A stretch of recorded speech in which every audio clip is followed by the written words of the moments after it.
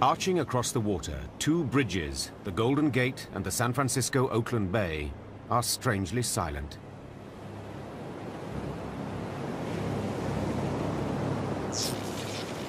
In the time of humans, the Golden Gate was an engineering marvel, crossed by 108,000 cars every day.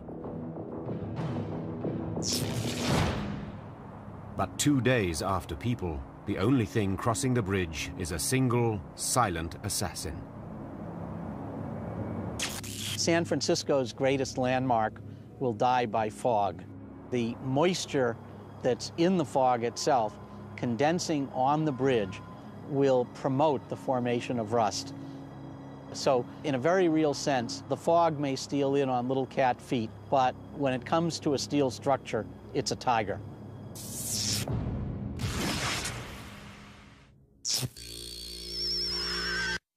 100 years after people. The crucible steel of the mighty Golden Gate Bridge has been humbled by common oxygen. What you're talking about is a bridge that is painted rust red now. Years from now, it's going to be rust rust. May very well be the same color, but when you get close, it's not going to be a healthy place. Dense fogs feed the rust, which threatens at the point of highest stress the vertical cables that bear the crushing weight of the deck. The roadway is not designed to support itself. It's really designed to be suspended from these cables.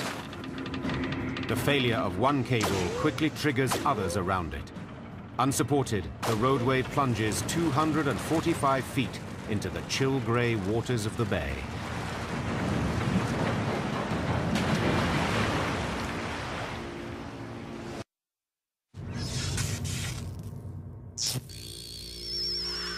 It's now 200 years after people.